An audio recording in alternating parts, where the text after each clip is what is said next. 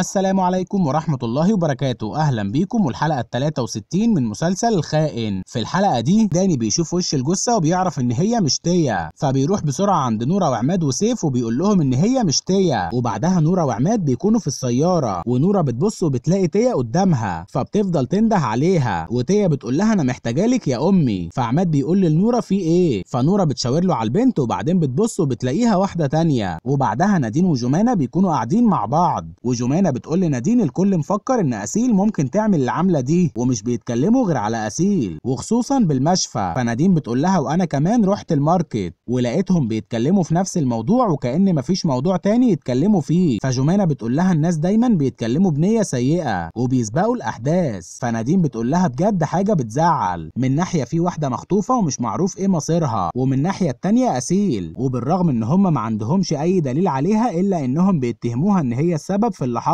فجمانة بتقول لها عندك حق أنا بدأت أخاف ومش عارفة إيه اللي هيحصل معاها في النهاية. فنادين بتقول لها وأنا كمان خايفة زيك ومش عارفة إيه اللي هيحصل. ونادين في الوقت ده بيجي لها مكالمة من داني وبيقول لها لو فاضية ممكن أشوفك. فنادين بتوافق وفي نفس الوقت سيف بيوصل عند أسيل وبيسأل يزن فين أسيل. فيزن بيقول له إن هي قاعدة مع أمل وأخو كنان. فبيسيب زينب مع يزن وبيروح لهم. وأسيل بتقول لسامر وأمل مفيش حاجة في إيدينا غير إن إحنا نستنى. وفي الوقت ده سيف بيجي عندهم. فأسيل بتقول لسيف عامل إيه؟ فبيقول لها برأيك هكون عامل إيه؟ لو شفتوا بعينيكم منظر الجثة حاجة تقطع القلب ولو كانت جثة تيا أنا ما كنتش عارف هعمل إيه وقتها. وسامر بيقول لهم لازم تركزوا وتلاقوا حل عشان تبرئوا نفسكم وإلا عيلة الزين مش هيسيبوكوا غير لما ينتقموا منكم أنا عارفهم كويس. فأسيل بتقول لسيف خد زينب وامشوا من هنا. فسيف بيقول لها ماشي. وبعدين جمانة ونادين بيخرجوا من البيت. وجمانة بتسأل نادين وبتقول لها إيه طبيعة العلاقة بينك وبين داني؟ انت ما قلتليش قبل كده. فنادين بتقول لها مفيش حاجة. وطبعا جمانة ما بتكونش مصدقة. وبتقول لها يعني هو بس كلمك عشان يقول لك نتيجة التحقيق؟ فنادين بتقول لها مش عارفة. ويلا بقى علشان نمشي. فجمانة بتضحك وبتقول لها هعرف كل حاجة في وقتها. وبعدين بتيجي سيارة صحفيين قدام بيت أسيل. وبعدها سيف بياخد زينب عشان يمشي. وبعدين كلهم بيخرجوا على بره. والصحفي بيروح ناحية أسيل وبيسألها عن تيا. لكن سيف بيتعصب وبيمسكه يضربه. فسامر بيقول له إيه اللي أنت عملته ده؟ ده ممكن يشتكي عليك. واسيل كمان بتكون متضايقة من اللي سيف عمله وبتقول له هو إحنا ناقصين هو انت عايز تفرج علينا الناس؟ انت كده بتزيد الطين بلة. وبعدين سيف بياخد زينب وبيمشوا. وبعدها الرائد بيجي له التقرير بتاع كاميرات بيت أسيل وبيعرف إن الشركة راحت مرتين وما لقتش أسيل في البيت. ومن ضمنهم الوقت اللي حصل فيه الحادث فالرائد بيقول له إن كل ده ملوش لازمة وبيطلب من الشرطي اللي معاه إن هم يشوفوا الكاميرات اللي في الشارع اللي موجودة على البيوت وفي المحلات. وبعدها داني بيكون مع نادين وبيفضل يتكلم معاها قد إيه شغلهم صعب. ونادين بتقول له متأكدة إن تيا هترجع وكل ده هيكون ذكريات وهتنسوها. فداني بيحذر نادين من أسيل وسيف وبيقول لها إن هي تخلي بالها منهم. فنادين بتقول له إنت إزاي بتقول كده؟ دول رفقاتي من زمان وأنا عارفاهم كويس لكن نادين بيقول لها إن هما متهمين في جريمة واحتمال تكون جريمة قتل. وأنت عارفة إن أسيل ممكن تعمل أي حاجة عشان توصل لغايتها لأنها واحدة خطيرة. لكن نادين بتقول له إن أسيل قلبها طيب وإن هما بيظلموها. وفي الوقت ده داني بيجي له مكالمة من كنان وبيطلب منه إن هو يجي بسرعة علشان نورة قافلة على نفسها. وعماد بيفضل يخبط على نورة وبيقول لها افتحي الباب لاكسره. ونورة بتكون قاعدة وعمالة تبكي وماسكة في إيديها الصور بتاعت تيا. وبتفضل تقول تعالي يا حبيبتي وما تسيبنيش يا تيا. فعماد بيكسر الباب وبيدخل وبيحاول يهديها لكن نورة بتقول له اتصرف ورجع لي بنتي. فعماد بيوعدها إن هو هيعمل المستحيل عشان ترجع. وبعدها أسيل بتكون في البيت وعمالة تفكر في كلام سامر وإن هم لازم يلاقوا دليل ويبرئوا نفسهم. وفي الوقت ده الشرطة بتوصل الشارع وبيفضلوا يبصوا على الكاميرات اللي في الشارع. وبعدين بيخبطوا على بيت وبيطلبوا من واحدة إن هم يشوفوا الكاميرات.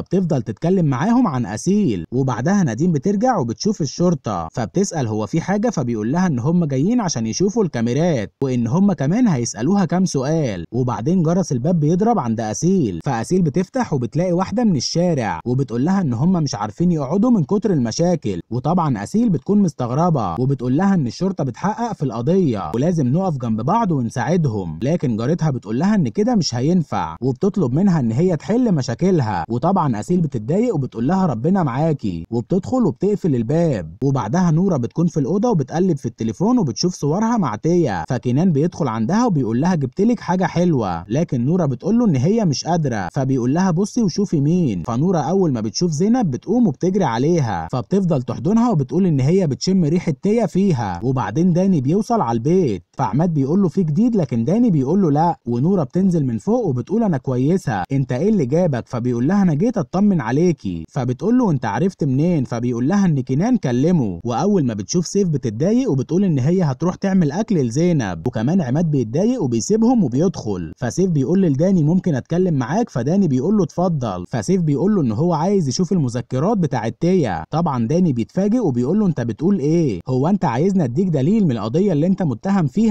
فسيف بيقول له أنا متأكد إن أنتوا ما خدتوش بالكم من حاجة وممكن أقدر اساعدكم لكن طبعا داني بيرفض وبيقول له أنت عارف أنا اتعلمت إيه من شغل السنين دي كلها؟ إن أنا ما صدقش أي حد متهم لحد ما تظهر براءته وبيطلب منه إن هو ما يفتحش الموضوع ده مرة تانية. وبعدها عماد بيكلم رجالته وبيقول كل يوم مفيش جديد أنا عايزكم تتصرفوا بأي طريقة ولازم تيا ترجع وخلوا كل الناس تتكلم. وبعد ما عماد بيخلص المكالمة بيلاقي داني واقف وراه وبيقول له إن هو سمع المكالمة كلها وإن اللي بيعمله ده أكبر غلط. ولازم يسيب الشرطة تشوف شغلها. فعماد بيقول له أنت ما سمعتش نورة بتقول عليا إيه؟ دي بتقول إن أنا ما عنديش إحساس. فداني بيطلب منه إن هو يكلم رجالته ويلغي كل اللي قاله لهم. فعماد بيكون رافض لكن داني بيصمم. وفعلا عماد بيكلم الرجالة بتوعه وبيلغي كل الكلام اللي قاله لهم. وفي مشهد تاني يزن بيروح لأسيل وبيوريها الأخبار وإن هم منزلين خناقة سيف مع الصحفي. فأسيل بتقول له بلاش تركز في الأخبار دي. فيزن بيقول لها هم ليه دايما بينزلوا أخبارنا؟ فبتقول له معلش شوية وهينسوا. المهم انت ما تضايقش نفسك فيزن بيقول لها وانت كمان. وبعدين بيحضنها وبيطلع على فوق. وبعدها جرس الباب بيضرب وأسيل بتفتح. فبتلاقيها مايا وبتقول لها إن في حد جاب لها طرد على المستشفى. وإن هي جابته لها وجات عشان تتكلم معاها. وبتقول لها على اللي بيحصل في المستشفى. وإن كمان كل الناس بيتكلموا عليها. فأسيل بتقول لها عادي. ومايا بتعرفها القرارات بتاعت زياد. وإن هو هيخلي رئيسة الأطباء الجديدة تعمل مؤتمر. وتقول فيه إن هم طردوا أسيل. طبعا أسيل لما بتسمع كده بتتضايق. وفي نفس الوقت جمانة ونديم بيكونوا قاعدين مع بعض وبيتكلموا عن أسيل. ونديم بتقول لجمانة معقول بعد السنين دي كلها يعملوا كده في أسيل؟ فجمانة بتقول لها هم بيعملوا كده عشان سمعة المستشفى. لكن لو كان أي حد تاني غير أسيل كان برضه هيحصل معاه كده. ونديم ما بتكونش مقتنعة بكلام جمانة. وجمانة طبعا بتكون متضايقة إن نديم بتدافع عن أسيل. وبعدها أسيل بتشكر مايا ومايا بتمشي. وفي الوقت اللي هي ماشية فيه بتقابل أيمن. فأيمن بيقول لها حكيتي مع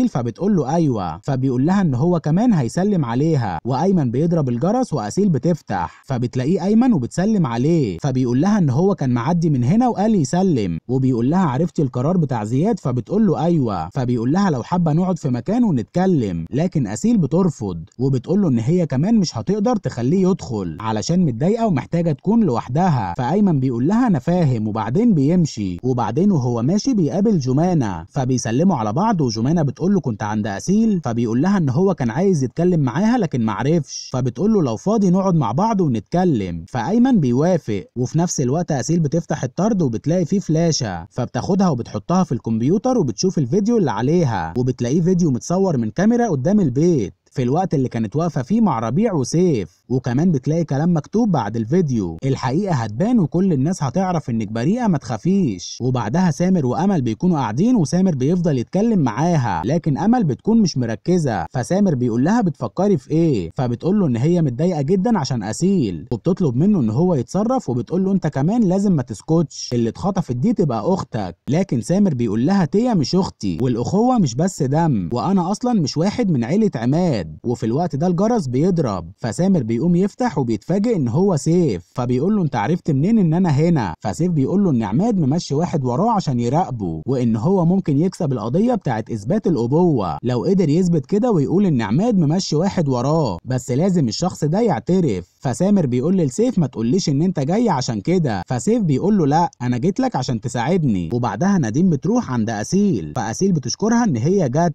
وبتقول لها خليكي مع يزن. فنادين بتطلب من أسيل إن هي تبقى تطمنها. وبعدين أسيل بتسيبها وبتمشي. وفي نفس الوقت سامر بيكون قاعد مع سيف وبيتكلموا. وسامر بيقول له في حاجة أنا مش فاهمها. أنت دلوقتي في وش المدفع. يعني الدكتورة لو بقت براءة أنت بقى هيكون إيه وضعك؟ فسيف بيقول له مش مهم. أنا بدفع تمن كل حاجة غلط. عملتها. والمهم إن أسيل ما تتأذيش. فسامر بيقول له إيه المطلوب مني؟ فسيف بيقول له لما طلبت منك إنك تراقب أسيل أكيد اتكلمت مع رفقاتك. وطلبت منهم المساعدة. وأنا دلوقتي عايزك تكلمهم. وتحاول توصل لتيا. فسامر بيقول له أنت قصدك إن المجرمين بيعرفوا بعض. فسيف بيترجاه إن هو يساعده. وأمل كمان بتقول لسامر يا ريت تساعده. فسامر بيوافق. وفي الوقت ده سيف بيجيله مكالمة من أسيل. وبتقول له إن في حد بعت لها فلاشة وعليها فيديو. وإنه حاطط كاميرا سرية قدام البيت ومصورهم هما وربيع. فسيف بيكون مستغرب وبيسألها انت فين؟ فبتقول له إن هي رايحة مركز الشرطة. فسيف بيقول لها إن هو رايح لها. فسامر بيقول لسيف إيه اللي حصل؟ فسيف بيقول له إن في حد حاطط كاميرا قدام بيت أسيل وبعت لها فيديو على البيت.